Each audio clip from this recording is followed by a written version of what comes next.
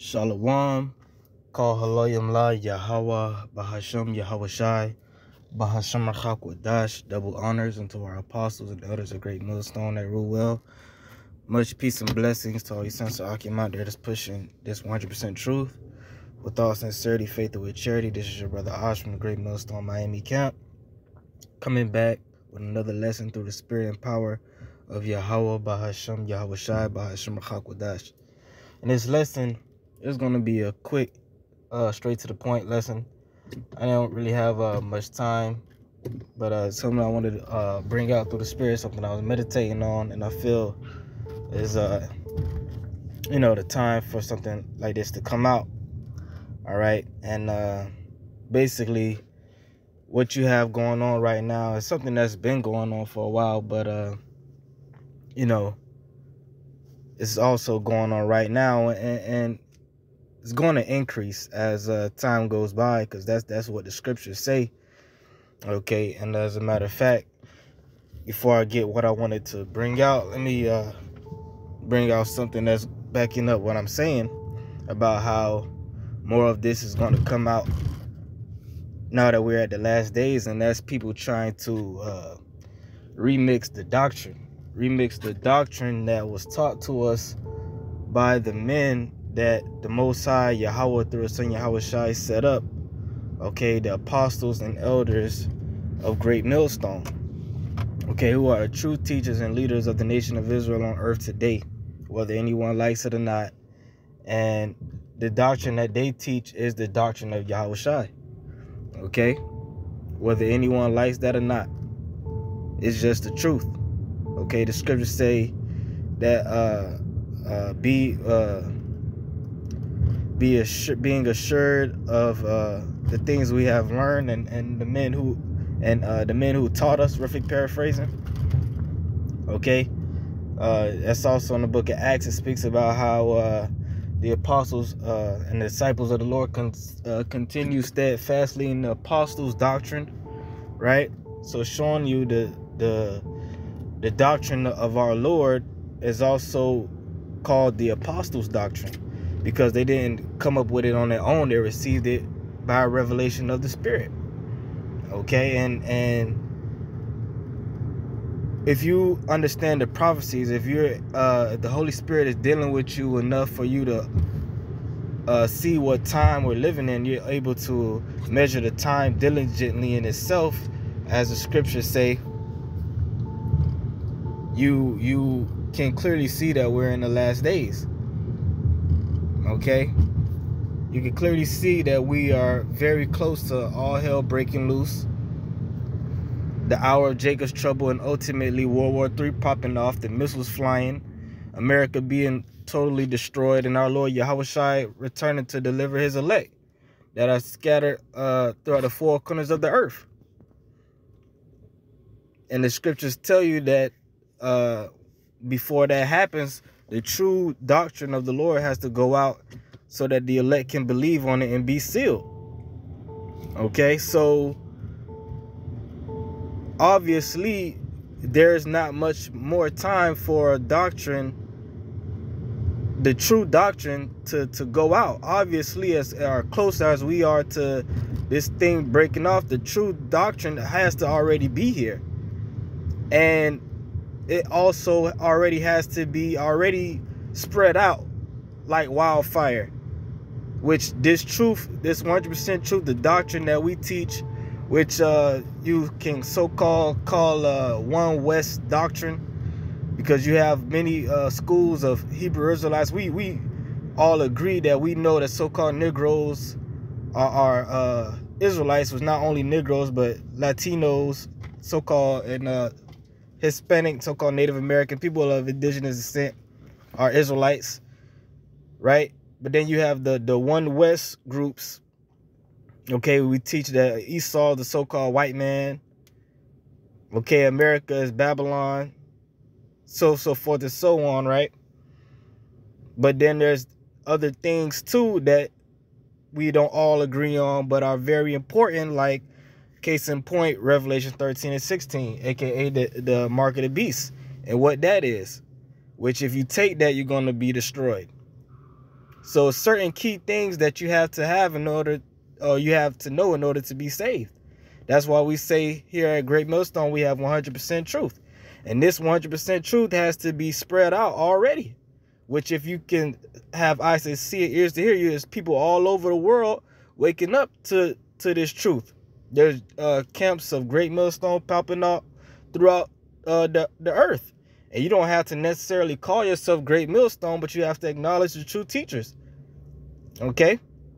But you have men that were once a part of Great Millstone for years, okay?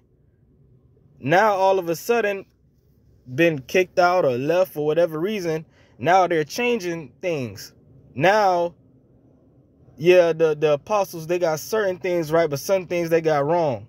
And this is what they got wrong. So according to you, you're the true teachers now. That's basically what you're saying. You're the true leaders now. And now we have to, everybody has to be gathered under what you believe. Which ultimately there's no time for that. So obviously you're wrong. But the scripture said that it would be men uh, of, of that sort that would do these things. Which also shows that we're much closer to the end. So this is First Timothy chapter 4, verse 1. Now the Spirit speaketh expressly that in the latter times shall uh, some shall depart from the faith, giving heed to seducing spirits and doctrines of devils. Okay? And that's what you have. In the latter time, men departing from the faith. So in the latter times, the true gospel is already going to be out. It's not going to be left to interpretation. It's not going to be, uh, you know, this and that, or it's okay, you believe this. No, it's going to be one doctrine, one faith. Either you got it or you don't. All right? It's not, oh, yeah, certain things they got right, but certain things they got wrong. Nah, it don't work like that. But men are going to depart from the faith, uh, depart from the faith, giving heed to seducing spirits. So it's going to be certain things that said, which that's always uh the most powerful lies when you mix some truth with it. If you say, yeah, yeah, certain things they got right, but certain things they got wrong, that sounds more seducing than just say, oh, all, everything they got is wrong. You know what I'm saying? So it's a, it's a seducing spirit. It's a, a, a you know a demon that's getting on on men in these last days, showing you that we're getting further and, and further closer and closer to the end. All right. But uh, this is what I uh, quoted. This is Luke chapter 12. Oh, no, no. Salakia. Was it Matthew 24? It's Matthew chapter 24 and uh, 14. And this gospel of the kingdom shall be preached in all the world for a witness unto all nations, and then shall the end come. So this gospel has to be preached throughout the four corners of the earth before the end can come. This gospel, which we that's how we know the so-called uh, doctrine of Christianity so-called Christianity, like we uh, like to call plantation Christianity, okay, coined by uh, Apostle Tahar. We we we know that ain't the truth because that been spread out through the world hundreds of years ago, and the end still hasn't come. So we we know that's not the, the true gospel of the Lord. What we have is the true gospel of the Lord. It wasn't until apostles and the elders of GMS got on YouTube uh, it wasn't until then when when things when the prophecies really started hitting and kicking off like that. Why? Because that's when you had many members of the elect uh, beginning to wake up at, at a rapid rate through the strength of the unicorn, which is the internet. That's when uh, is uh, the the wars and rumors of wars uh, increase. That's when uh, talks of, of uh, the uh, you know uh implantable devices began to to uh you know skyrocket. That's when you really start seeing Israelites really waking up. And the apostles of GMS, they they always say they weren't the first Israelites or one West Israelites to get on YouTube. They say uh Nate Bishop Nathaniel was was on it first, but once they got on it, they they started pushing to a whole nother level on the YouTube, and that inspired many other Israelites to get on YouTube, which caused a domino effect of Israelites waking up. So if the proof is in the pudding, when it when, you know that's why Yahweh said, "Believe me for the very work's sake." So if you don't believe the apostles and the elders are the true men of the Lord, believe for the very work sake. There's no other men out there putting in work, have put in work, and are still putting in work to the level that our apostles and elders have done. And the effect that, you know, without having to get on airplanes and go to these different countries to to set up camps. You got you got men in the, uh, under uh, the banner of GMS in Africa, Aust- uh, Australia. That's the spirit because I didn't even I was trying to say uh, South America, but there's brothers in Australia as well. Europe, all different parts of Europe. And, and they teaching the names Yahweh Bashem Yahushai. And you got people in China and, and, and East Asia calling on the names Yahweh and Yahweh Shai through the influence of the apostles and elders or uh, through the spirit. Okay? So that's how we know that that that we got the truth. But yeah, you got men this late in the game want to tell you that uh Abba Bivens was not Elijah. King Mashah is not King David. Which the apostles and the elders, you know, tell you all the time. They don't they don't push that uh King Mashah was King David on people.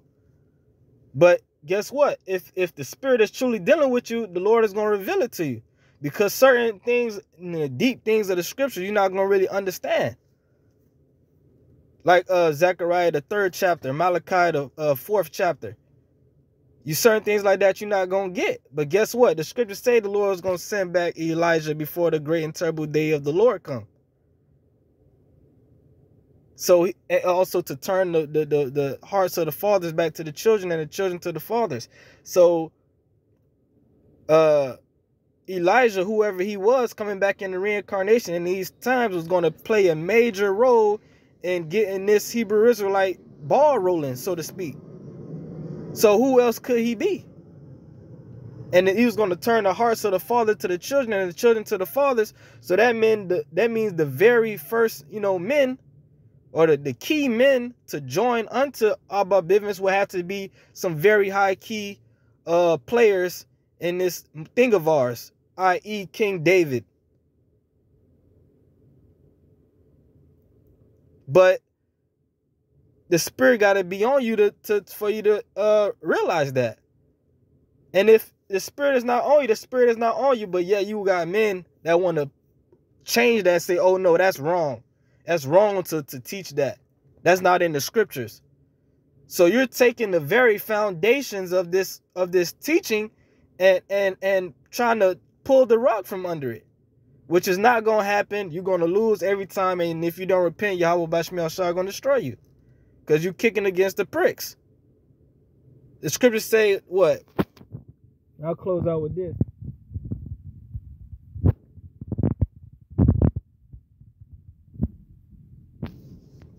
This is First Corinthians chapter 3 and 10. According to the grace of the Most High, which is given unto me as a wise master builder, I have laid the foundation, right? Because uh, the Apostle Paul was uh, one a, a very high key player in this thing of ours going back to 2,000 years ago, right? Especially uh, dealing with the the gathering of the Israelite foreigners at that time, the Gentiles. He didn't he didn't even learn from uh, the disciples. He learned directly from Yahushua himself. He, he told his story how when he first started teaching, he didn't even go visit the apostles uh, for some years. He just went straight to teaching. So he was a major player in this thing. That's what he means by he laid the foundation. He's a pioneer, and you got pioneers in this thing of ours in these times, which we believe are those same pioneers coming back in the reincarnation. That was with Yahweh Shai two thousand years ago, and and and and and uh, that that was uh you know during that time. It says, and another buildeth thereupon, uh, thereon, which are the, the, the different uh, churches that Paul set up, the different bishops and deacons and, and men that was part of those different churches that we read in the Gospels. I mean, so like in the New Testament, in Paul's writings, right? But let every man take heed how he buildeth thereupon. So we are entering in other men's labors, as the scriptures say. So it's not up to us to change the doctrine. It's up to us to be assured in the things we learn and, and teach what was taught. Verse 11, for other foundation can no man lay than that is laid, which is Yahweh Shai Hamashiach. You see? So Yahweh Shai is the foundation, but Yahweh Shai comes in the volume of the book. Yahweh Shai is the doctrine. So you trying to take a piece of the doctrine, you you adding and taking away, man. But yeah, you claiming that the apostles and elders is adding and taking away. Well, guess what? We're gonna see. And we already know because it's too late in the game, man. Look at what's going on in prophecy. Look what's going on in the world in, in, the Middle East. Look at what these different world leaders is coming out and saying out their mouth that they, they got planned to do in the near future. But as I brought out, men in the latter days going to be giving heed to seducing spirits, man, departing from the faith. But this is just a warning to, to the elect, the hopeful elect out there, to not be seduced by these spirits to peep what's going on and to use wisdom, man. Put one and two together. That's something I just wanted to, to bring out through the spirit. All right. Lord willing, it was edifying. I want to give all praise, honor, and glory unto Yahweh, by Hashem Yahweh Shai, by Hashem and to the next one, Shalom.